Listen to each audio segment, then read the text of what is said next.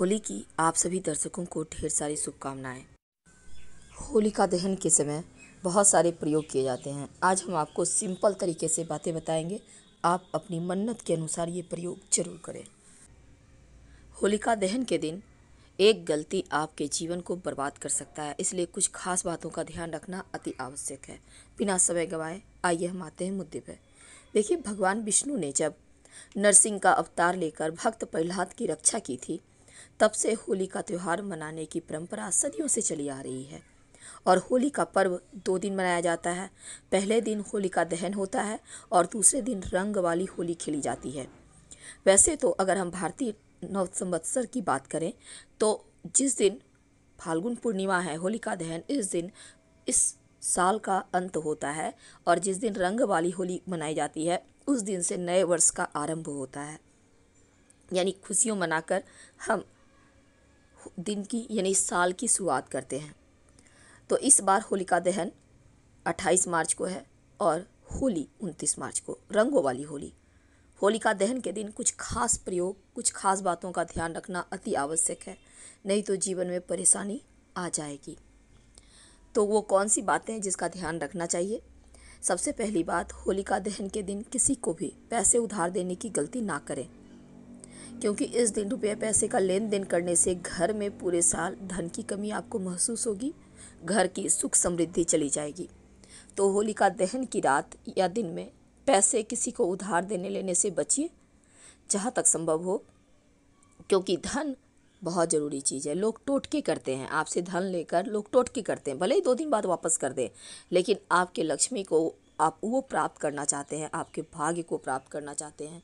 तो समझिए इशारा और किसी को भी ना दें।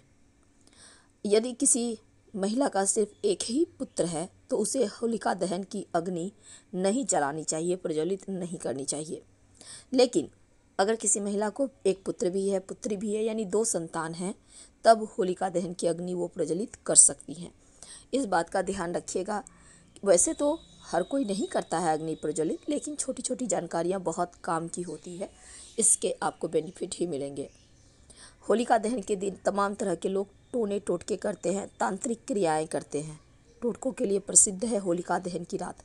तो इस दिन सफ़ेद चीज़ मत खाइए, सख्त मनाही। यानी किसी का भी दिया हुआ बतासा है, मिश्री है, सफ़ेद मिठाई है, दूध है, भूल कर भी सेवन ना करें, क्योंकि सफ़ेद चीज़ों से नकारात्मक शक्तियाँ जल्दी आकर्षित होती है। इसलिए खीर, दूध, दही, बतासे कोई भी दे मत खाइए। कोशिश कीजिए अपने भी घर में ना खाने की। होलिका दहन के दिन इन चीज़ों का ध्यान रखिएगा तो बढ़िया रहेगा। देखिए होलिका दहन में क्या होता है ना, बहुत सारे लोग आम के टहनी, बट वृक्ष के टहनी, पीपल के टहनी वगैरह जला देते हैं, लेकिन मत जलाइएगा, ये अशुभ माना जाता है। क्योंकि इन तीनों ही पेड़ों में नई कोपले आती हैं, जलाना सही नहीं है।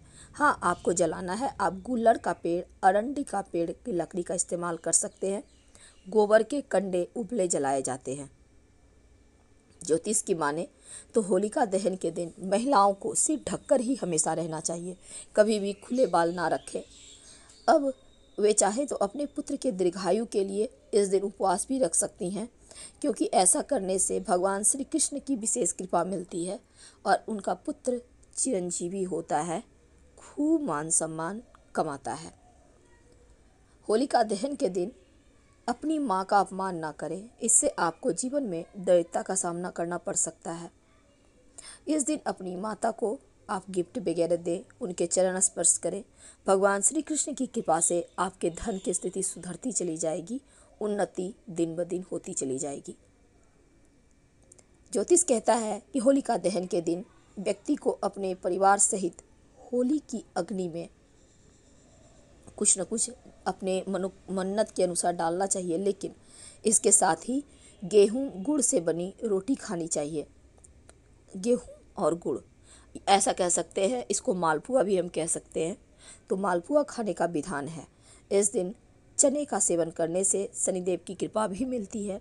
तो आप चने का बहुत तरह की चीज़ें बनती है। नहीं कुछ तो सब्ज़ी बनाए, उसमें दो चार दाने चने ही डाल दें। शनिदेव की कृपा बरसती है। तो ये छोटा सा प्रयोग ज़रूर कीजिएगा। होलिका दहन का शुभ मुहूर्त इस बार चूँकि 28 मार्च को शाम छः बजकर छत्तीस मिनट से रात आठ बजे तक शुभ योग है और आठ बजकर तीन मिनट से रात नौ बजे तक अमृत काल रहेगा। शास्त्रों की माने तो ये वक्त सबसे उत्तम है। अब सवाल ये होता है कि होलिका की अग्नि में क्या ना डालें? देखिए, पानी वाला नारियल जो साबुत होता है, वो मत डालिए, नहीं तो फट पड़ेगा, चारों तरफ़ चिंगारी उड़ेगी। भूल कर भी गलती ना करें। जब भी डालें, नारियल का गोला डालें, उसको कट करके अंदर में कुछ चीज़ें अर्पित करने के बाद, भरने के बाद डालें। ये सबसे शुभ रहता है। इस बार बहुत ही दुर्लभ मुहूर्त बना हुआ है। भद्रा की साया भी नहीं है। तो सूल योग में पूजा करने से आपको मृत्यु तुल्य कष्ट से मुक्ति पा सकेंगे आप। यानी बीमारियों से रक्षा होती है। तो घर पर आप अगर चाहते हैं तो घर पर भी कर सकते हैं, कोई दिक्कत नहीं है। लेकिन संभव हो तो बिरान स्थान पर जहाँ होती है वहीं पर करें। कौड़ी, अगर आप मिट्टी में गड्ढा करके अपनी मन्नत कह के, कोई अच्छी वाली मन्नत कह के मिट्टी में गड्ढा में करके कौड़ी आप दबा दें, फिर होलिका प्रज्वलित होने के बाद जब ठंडा हो जाए राख, उस कौड़ी को निकाल कर अपने घर की थोड़ी सी मिट्टी के साथ किसी बहते हुए जल में प्रवाहित कर दें तो जीवन के कष्ट मिट जाते हैं। अच्छे स्वास्थ्य के लिए आप चंदन की लकड़ी होलिका के अग्नि में डालें। और अपना करियर, अपने रोज़गार के लिए सरसों के दाने डालिए होलिका की अग्नि में। घर परिवार में सुख शांति हो, इसके लिए आटा या फिर जौ की बालियाँ डालिए होलिका की अग्नि में। मृत्यु तुल्य कष्ट से मुक्ति पाने के लिए काला तिल डालें अग्नि में। एक बात का हमेशा ध्यान रखिएगा, बहुत सारे लोग क्या करते हैं, कुछ भी उल्टे सीधे चीज़ डाल देते हैं, जैसे लाल मिर्च डाल देते हैं होलिका दहन की अग्नि में, या फिर नमक डाल देते हैं। तो ये सभी उल्टे पुल्टे चीज़ ना डालें, माल जो होलिका है, वो नाराज़ हो जाएँगी। जब भी डालें, पवित्र वस्तु डालें। आप पूरी रजा बलाओं से मुक्ति पाने के लिए सरसों के दाने डाल सकते हैं, काला तिल डाल सकते हैं। तो चलिए हम जान लेते हैं, इस होलिका दहन में क्या डालना चाहिए। देखिए, सबसे पहली बात तो इस होलिका दहन के स्थान पर जाएँ। पहले अग्नि को प्रणाम करें, भूमि पर जल डालें और फिर अग्नि में गेहूँ की बालियाँ, गोबर के उपले और काले तिल के दाने डालें। जो आप गोबर के उपले डालेंगे ना, सात गोबर के कंडे होंगे, इसके माला बनाकर ही डाला जाता है, इससे ज़्यादा मत लीजिएगा। अग्नि की परिक्रमा कम से कम तीन बार कीजिएगा और फिर अग्नि को प्रणाम करके अपनी मनोकामना कहे और होलिका की अग्नि की राख से स्वयं का और अपने घर के लोगों का तिलक ज़रूर करें। होलिका की अग्नि में क्या अर्पित करेंगे कि सब कुछ बेहतर हो जाए, खुशियाँ प्राप्त हो? सिंपल तरीके से जानते हैं। अच्छे स्वास्थ्य के लिए काला तिल डालें, बीमारियों से मुक्ति पाने के लिए हरी इलायची और कपूर डालें धन लाभ के लिए चंदन की लकड़ी डालें और रोज़गार की प्राप्ति के लिए पीली सरसों डालें। विवाह शीघ्र होने के लिए वैवाहिक जीवन की परेशानियों से मुक्ति पाने के लिए हवन सामग्री डालें और नकारात्मक ऊर्जा से मुक्ति पाने के लिए काली सरसों, जिसको हम राई कहते हैं, उसको डाल सकते हैं। आपको इसके बेनिफिट मिलेंगे। जब होलिका दहन शांत हो जाए, तब वहाँ पर से थोड़ा सा राख ले आइए। चुपके से लाना है और राख लाने से लाके अपने घर में छोटे छोटे प्रयोग कर सकते हैं। याद रखिए, इस दिन सफ़ेद चीज़ें, दूध, दही, चावल आदि का सेवन भूल कर भी ना करें। काले चने का सेवन ज़रूर करें और ज़रूरतमंद व्यक्ति को काला चना का दान भी कर सकते हैं। आपके संकट दूर होंगे, उन्नति के मार्ग फलेंगे। तो छोटे छोटे प्रयोग है और इस दिन पुआ, मालपुआ आप ज़रूर खाइए, क्योंकि मालपुआ खाने से जीवन की हर परेशानी दूर हो जाती है। हम आपसे विदा लेते हैं, क्योंकि स्वास्थ्य की परेशानी की वजह से थोड़े से हम आपसे दूरियाँ बनाए हुए हैं। आप सभी को एक बार फिर से ढेर सारी शुभकामनाएँ इस होली की। ये होली आपके जीवन के तमाम तकलीफ़ों को दूर करे। ये होली का दहन में अपने बुराइयों को, अपनी परेशानियों को जला दें और एक अच्छी लाइफ जिए।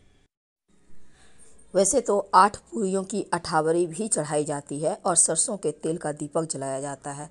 लाल पीला चंदन चढ़ाने का, रेवड़ी का भोग लगाने का भी विधान है। अगर आप आटे का उपटन लगाकर उस आटे को होलिका दहन में डाल दें तो स्वास्थ्य समस्या, मानसिक समस्या दूर होती है। और अगर नारियल सुपारी चढ़ाएँ तो सबसे अच्छा होता है, बच्चों के सर पर संकट नहीं आता। रोग नाश, बीमारियों का नाश के लिए खास प्रयोग ज़रूर करें। महामृत्युंजय मंत्र का जप कर सकते हैं। धन की प्राप्ति के लिए ओम नमो धनदाय, स्वाहा मंत्र का जप कर सकते हैं।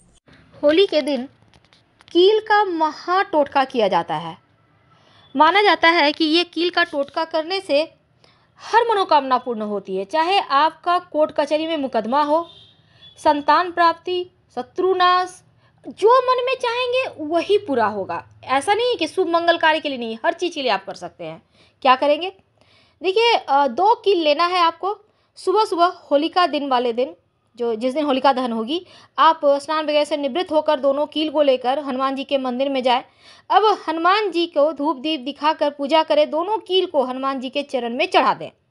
इसके बाद उन, आप हनुमान चालीसा पढ़ लीजिएगा, फिर उन कीलों को उठाकर आप पूरे विश्वास के साथ भगवान को प्रार्थना करके बोलिए, आपकी क्या इच्छा है? बोलिए उनसे। मन में नहीं बोलना है, बोल बोल कर बोलिए। बोलने से ही मनोकामना पूर्ण होती है। अब इन कीलों को हाथ में ले लीजिए, दाहिने हाथ से उठाकर, फिर अपनी विष बोलिए, मनोकामना बोलिए, और हनुमान जी से जो भी बोलना है, कहकर इसको अपने घर लेकर आप चले आइए। लाकर घर के मुख्य दरवाजे के दोनों ओर गाड़ दें या फिर आप किसी चीज़ के सहारे, काले धागे के सहारे बाँध कर कहीं भी छिपा दें। आपकी मन्नत पूरी हो जाएगी, किस्मत बदल जाएगी, शत्रुओं का नाश होगा, कोई आपका कुछ बाल भी